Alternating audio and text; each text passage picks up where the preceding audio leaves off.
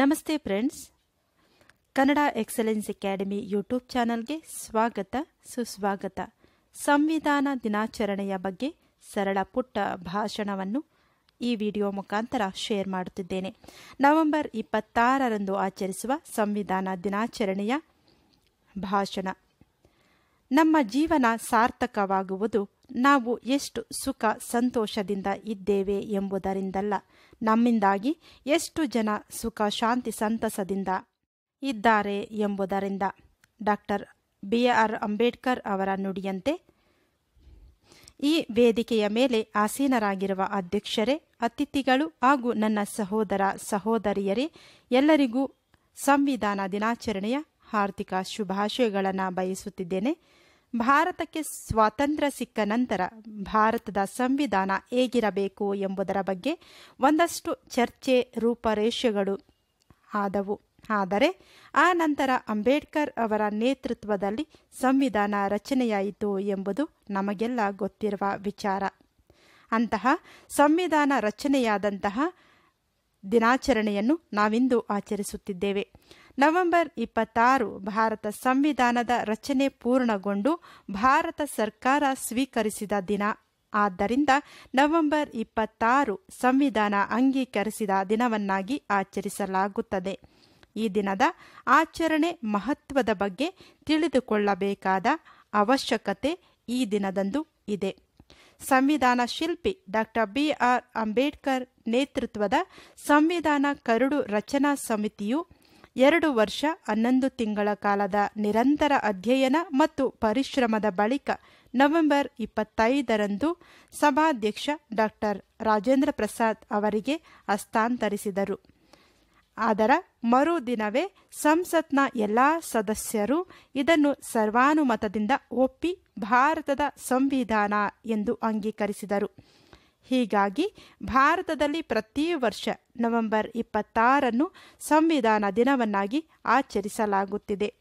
ಅಂತಹ ದಿನದಂದು ಪುಟ್ಟ ಭಾಷಣವನ್ನು ಮಾಡಲು ಅವಕಾಶ ಕೊಟ್ಟ ತಮಗೆಲ್ಲರಿಗೂ ಧನ್ಯವಾದಗಳು. ಅದರ ಮರುದಿನವೇ ಸಂಸತ್ನ ಎಲ್ಲ ಸದಸ್ಯರು ಕೂಡ ಇದನ್ನು ಸರ್ವಾನುಮತದಿಂದ ಒಪ್ಪಿ ಭಾರತದ ಸಂವಿಧಾನ ಎಂದು ಅಂಗೀಕರಿಸಿದ ದಿನ ನವೆಂಬರ್ ಇಪ್ಪತ್ತಾರು. ಹೀಗಾಗಿ ಭಾರತದಲ್ಲಿ ಪ್ರತಿ ವರ್ಷ ನವೆಂಬರ್ ಇಪ್ಪತ್ತಾರನ್ನ ಸಂವಿಧಾನ ದಿನವನ್ನಾಗಿ ಆಚರಿಸಲಾಗುತ್ತಿದೆ. ಅಂತಹ ಸಂವಿಧಾನ ದಿನಾಚರಣೆಯ ಶುಭಾಶಯಗಳು. ಭಾರತದ ಸಂವಿಧಾನ ಜಗತ್ತಿನ ಅತಿ ದೊಡ್ಡ ಲಿಖಿತ ಸಂವಿಧಾನ ಎಂಬ ಹೆಗ್ಗಳಿಕೆಗೆ ಪಾತ್ರವಾಗಿರುವುದು. ಭಾರತ ಸಂವಿಧಾನ ಸುಮಾರು ಒಂದು ಲಕ್ಷ ಹದಿನೇಳು ಸಾವಿರದ ಮುನ್ನೂರ ಹದಿನೇಳು ಪದಗಳಿಂದ ಕೂಡಿದ ಬೃಹತ್ ಸಂವಿಧಾನ. ಆಗಸ್ಟ್ ಇಪ್ಪತ್ತೊಂಬತ್ತು, ಸಾವಿರದ ಒಂಬೈನೂರ ನಲವತ್ತೇಳರಂದು ಬಾಬಾ ಸಾಹೇಬ್ ಅಂಬೇಡ್ಕರ್ ಅವರನ್ನು ಸಂವಿಧಾನ ಕರಡು ಸಮಿತಿಯ ಅಧ್ಯಕ್ಷರನ್ನಾಗಿ ಆಯ್ಕೆ ಮಾಡಲಾಗಿತ್ತು.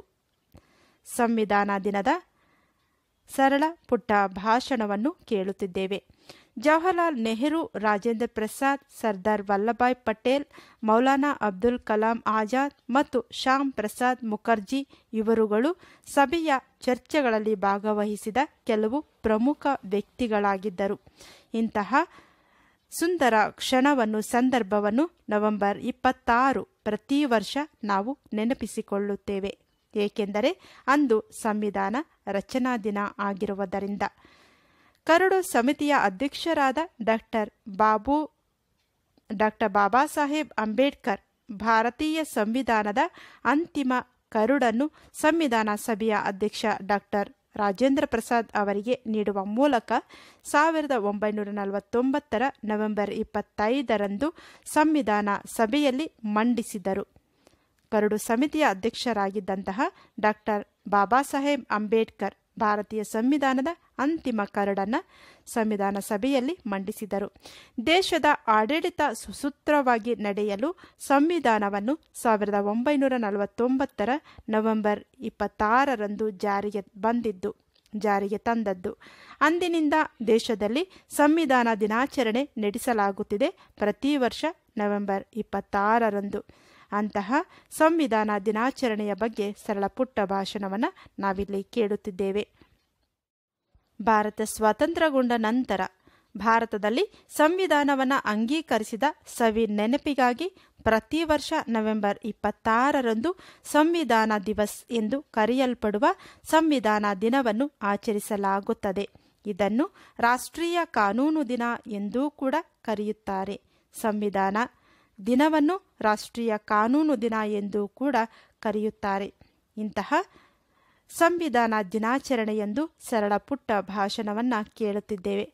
ಭಾರತ ಸ್ವತಂತ್ರಗೊಂಡ ನಂತರ ಸಾವಿರದ ಒಂಬೈನೂರ ನಲವತ್ತೊಂಬತ್ತರಲ್ಲಿ ಈ ದಿನದಂದು ಭಾರತದ ಸಂವಿಧಾನ ಸಭೆ ಔಪಚಾರಿಕವಾಗಿ ಭಾರತದ ಸಂವಿಧಾನವನ್ನು ಅಂಗೀಕರಿಸಿತು. ಇದು ಜನವರಿ ಇಪ್ಪತ್ತಾರು. ಸಾವಿರದ ಒಂಬೈನೂರ ಐವತ್ತರಿಂದ ಜಾರಿಗೆ ತರಲಾಯಿತು.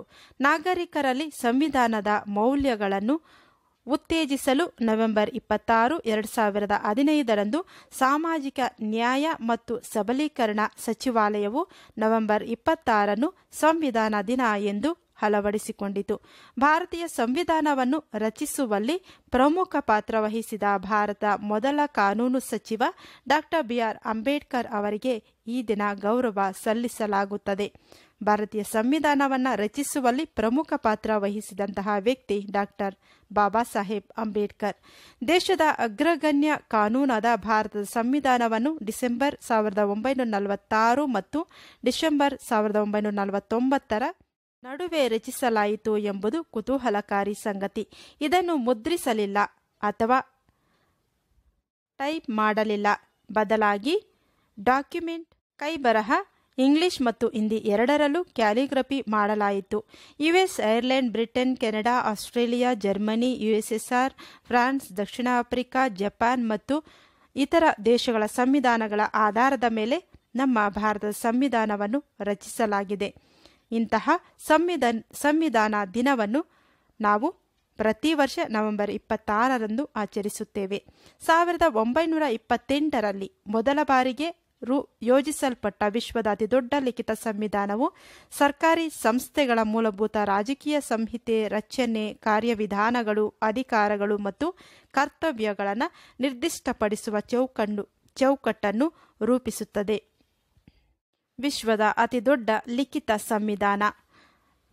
ಭಾರತೀಯ ನಾಗರಿಕರ ಮೂಲಭೂತ ಹಕ್ಕುಗಳು, ಕರ್ತವ್ಯಗಳು ಮತ್ತು ನಿರ್ದೇಶನ ತತ್ವಗಳನ್ನು ರೂಪಿಸುತ್ತದೆ.